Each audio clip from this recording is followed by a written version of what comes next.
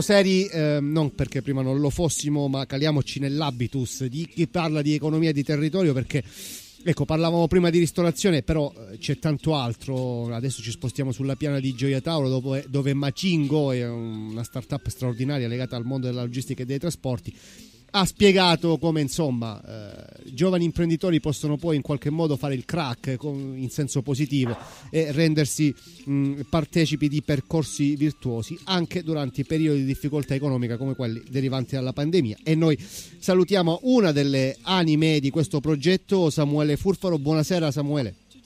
Eh, buonasera buonasera a tutti. Grazie per aver accettato il nostro invito anzitutto Grazie a voi per avermi coinvolto. E allora ti chiediamo, um, chiaramente il, il, nostro pubblico probabilmente non è eh, diciamo um, mo- molto avvezzo, mettiamo una parola che ultimamente su, su, queste frequenze si sente molto, al, diciamo, a ciò che riguarda trasporti e logistica. Ci spieghi esattamente cosa, di, di cosa tratta la vostra, eh, la vostra startup, di cosa vi occupate e come avete vissuto questo momento, questa fase di pandemia, insomma, di crisi? Sì, eh, allora brevemente Macingo è, è, un marketplace, ovvero un sito web che mette in contatto chi ha bisogno di trasportare eh, merce voluminosa, quindi un'auto, una moto, ed effettuare un trasloco oppure prodotti per l'industria, con quei trasportatori che, eh, compatibili da un punto di vista geografico e merceologico, hanno ancora spazio a bordo. Noi eh, facciamo appunto sul sito un matching, un incontro virtuale tra domanda e offerta di trasporto. Il cliente, senza attaccarsi al telefono per trovare un trasportatore, trova subito un'offerta in tempo reale sul nostro sito e acquisti il trasporto, ormai come si suol dire, con un clic, mentre il trasportatore eh, soprattutto eh, quelli del sud che hanno il problema del viaggio di ritorno a vuoto, si connettono alla nostra rete, al nostro sito per riempire i loro mezzi e non viaggiare più eh, vuoti. Eh, questo è in sintesi quello che eh, facciamo, uh, quindi siamo un marketplace, operiamo nel settore de- della logistica e cerchiamo di rendere facile l'esperienza dell'organizzazione, dell'acquisto del trasporto di merce eh, in modo veloce, intuitivo, appunto facile, come se stesse prenotando un biglietto aereo o eh, un'assicurazione mh, mm, piuttosto che un passaggio con BlaBlaCar appunto sul web. Ecco, com'è cambiato il vostro modo di operare? Se è cambiato in questo periodo di pandemia? Ma eh, diciamo che non ci sono stati eh, grossi stravolgimenti, anzi il fatto di essere presenti sul web già da diversi anni il fatto di essere quindi operativi online ci ha permesso di eh, affrontare eh, la pandemia eh, in modo più eh, sereno e di essere quindi in qualche modo preparati eh, a questi cambiamenti che ci sono in atto da eh, appunto da un, anno, da un, anno, a questa parte. Il mondo si è ulteriormente digitalizzato e noi fortunatamente stiamo cercando di, di cavalcare eh, questi cambiamenti dell'era digitale già eh, da, da, da, diversi anni. Eh, noi, giusto per dare ecco, un numero, eh, abbiamo chiuso il 2020 con un più 40% di fatturato, nonostante la pandemia. Per quale motivo? Perché la gente stando a casa eh, si è abituato ulteriormente al web, ad internet, quindi nel momento in cui deve ricercare un trasporto lo fa direttamente sul web molto più di come lo facesse prima. Noi abbiamo raddoppiato i nostri utenti unici mensili che arrivano ormai a quota eh, 100.000, eh, proprio perché la gente stando a casa si è abituata appunto ad utilizzare internet anche eh, per questi servizi. Il, eh, ciao Samuele Emilio Lupis, il, ehm, ciao. l'esplosione tra virgolette degli acquisti online ha in qualche modo influito sulla vostra attività? Questa è la prima domanda. La seconda, visto che hai detto bene, cioè, spesso tornare al sud per un mezzo pesante è un problema se questo mezzo pesante viaggia vuoto, qual è la regione dalla quale eh, riscontrate più utenza? Eh, allora, sulla prima domanda eh, posso assolutamente confermare eh, quello che eh, insomma, tu hai poco fa asserito, ovvero che eh, c'è una correlazione eh, diretta positiva tra il boom degli acquisti online e poi i trasporti. Eh, quindi eh, questo è, è, un fatto eh, irrevocabile, eh, senza ombra di dubbio sta succedendo questo, si acquista di più su internet quindi poi eh, è necessario mh, trasportare eh, di più.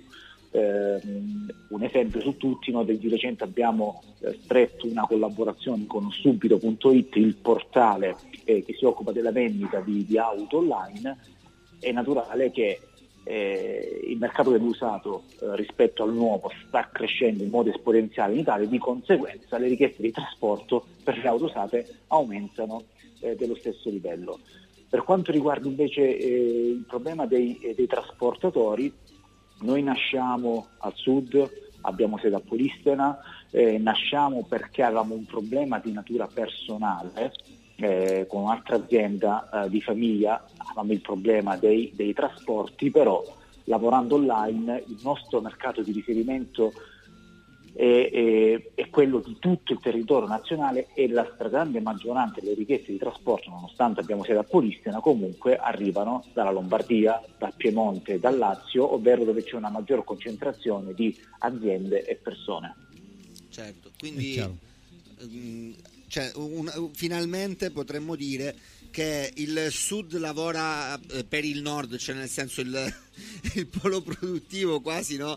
si è invertito grazie a questa vostra intuizione, anche se poi ovviamente le merci le fanno loro, ecco, mettiamola così. Ma, ma, ma diciamo che questo è il grande vantaggio del digitale. Certo. Il digitale abbatte le barriere, abbatte i confini, quindi basta stare online e sei presente in tutto il mondo.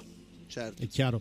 È chiaro, Samuele, una domanda da parte mia, prima di lasciarti alla conclusione eh, con, eh, con, Emilio. Um, ci aspettano tempi complessi. Tu come pensi si possa, sia da un punto di vista economico, sociale, culturale, ci sono modelli che andranno rivisti, modelli eh, di carattere umano anzitutto, oltre che poi di carattere economico.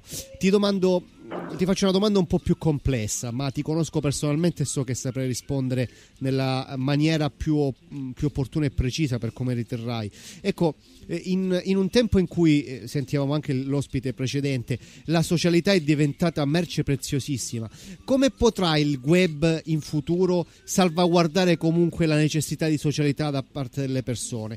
Cioè, se anche il commercio si sposta dal eh, contatto diretto tra persone a piattaforme informatiche, se anche il, dire, eh, le, le, pandemie, il periodo dei virus o comunque la diffidenza tra persone, mh, mm, l'isolamento, l'alienazione di persone nelle grandi città ti porta ad una sorta di solitudine, il web avrà un ruolo di socializzazione, avrà anche questo tipo di ruolo culturale, sociale, di aggregazione in qualche modo secondo te? Ma eh, diciamo che in parte questo sta già, si, sta, si, sta, già verificando, è, è, è, già, è già, in atto. Eh, adesso è, proprio grazie, eh, grazie, al web, il web in qualche modo durante questa pandemia ci ha salvato, ci ha tenuto in contatto, ci ha permesso di continuare a lavorare, se pensiamo a, all'esplosione dello smart working piuttosto che eh, alle piattaforme eh, come Zoom piuttosto che eh, insomma, quelle, quelle, di Microsoft o Google Meet, comunque è stato il web che ci ha permesso di continuare a fare quello che facevamo prima, eh, anzi per certi versi eh, anche, eh, cioè, ci ha permesso di eh, migliorare sotto diversi aspetti e di essere anche più efficienti. Io eh, mh, prima della pandemia ogni due settimane dovevo prendere un volo, recarmi a Milano, a Roma per fare degli incontri, ora invece in un'ora hai fatto quell'incontro, ti sei detto quello che ti dovevi, ti dovevi dire, quindi da quel punto di vista un'efficienza estrema e naturale che non bisogna, non bisogna esagerare, perché eh, se eh, i, i, contatti vengono in qualche modo eh, limitati e portati allo zero, è naturale che poi ci possono essere delle conseguenze negative, ma è proprio in questa pandemia che è emersa la forza del web. Poi purtroppo ci sono stati degli abusi, pensiamo al caso oppure ai casi eclatanti che sono stati, che sono stati suscitati da TikTok, no? che hanno coinvolto purtroppo dei bambini, ecco, quelli sono poi dei casi estremi che vanno in qualche modo eh, controllati, però questo poi riguarda un altro discorso, perché i bambini stanno sempre col cellulare, perché i bambini, al di, di, di, di, TikTok, li vediamo sempre attaccati ai dispositivi, questo è poi un problema eh, culturale che va sicuramente tenuto eh, diciamo, a bada. È chiaro. Emilio. Io adesso l'ultima curiosità, l'ultima domanda che magari ci hanno già pensato, però io eh, questa bella storia di Samuele la sto eh, conoscendo adesso. Eh, sempre ritornando al discorso di un camion che magari eh, parte da, dal porto di Gioia Tauro, arriva a Milano, scarica quello che deve scaricare e non torna indietro vuoto, come hai detto tu, questo vuol dire eh, che c'è anche un impatto ambientale, quindi cioè, ehm, alla fine la vostra startup in qualche modo guarda anche all'ambiente.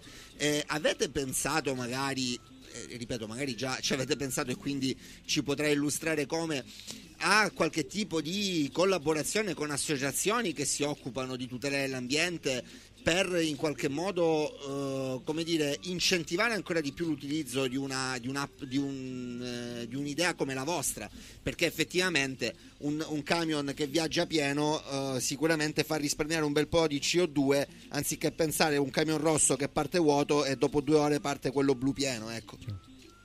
E, allora, diciamo che eh, questo sicuramente un eh, rappresenta un elemento, ehm, una, un'esternalità positi- positiva eh, del nostro sito, del nostro marketplace, perché di fatto è come dici tu, mettiamo le merci sullo stesso mezzo, eh, facciamo viaggiare i camion eh, a carico intero, non vuoto, quindi riduciamo il numero di mezzi sulla strada, inevitabilmente c'è un risparmio di CO2 eh, di recente abbiamo condotto uno studio di ricerca e sviluppo con l'Università eh, della Calabria e abbiamo calcolato che il nostro sito ha permesso di risparmiare 836.000 kg di CO2 nel 2020, quindi effettivamente c'è eh, un, effetto, un, effetto, positivo, eh, l'ambiente va salvaguardato e sistemi come questi sicuramente puntano a questo oh, risparmio e alla salvaguardia in generale eh, dell'ambiente. Poi è naturale che eh, coinvolgere le associazioni, abbiamo avuto qualche tempo fa un contatto con, uh, con Legambiente, ancora in Italia siamo un po' indietro rispetto a quello che sta succedendo per esempio negli Stati Uniti o, mh, diciamo, o in Inghilterra, però di base si sta andando verso quella direzione. Bene, Grazie Samuele. Samuele so se... No, grazie solamente un saluto e un ringraziamento a Samuele Furfaro, sempre disponibile, una realtà positiva del territorio calabrese. Buon lavoro Samuele e una buona serata. Grazie anche a voi, a presto, un saluto a tutti. Ciao. Buonasera. Ciao, grazie. Ma